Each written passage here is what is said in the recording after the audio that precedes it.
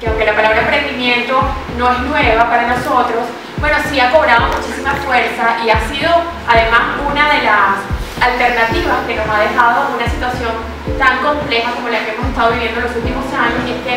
eh, bueno, somos testigos de que el ecosistema emprendedor cada día se fortalece más, se va creciendo y es necesario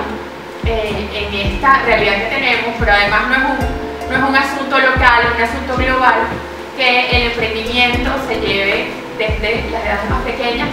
eh, y que forme parte de la educación. Por eso bienvenidos a este foro de educación y emprendimiento. Em,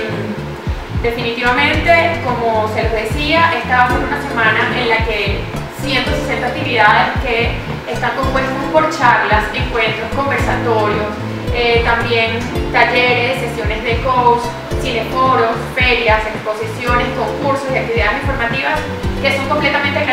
que el caraqueño va a tener la oportunidad de disfrutar. Antes de pasar a las presentaciones centrales de este foro, queremos agradecer la compañía de importantes organizaciones que, y de coorganizadores que han hecho posible este encuentro, fundaciones, emprendedores, eh, ONGs que modelan eh, desde su, campo de acción todos los días, no durante esta semana, sino todos los días del año, desde hace mucho tiempo. Entonces queremos agradecer a Startup Caracas, emprendiendo juntos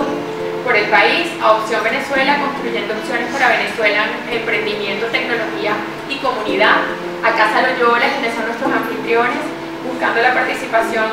y el intercambio de ideas, a Fundasitio, fortaleciendo la inclusión digital,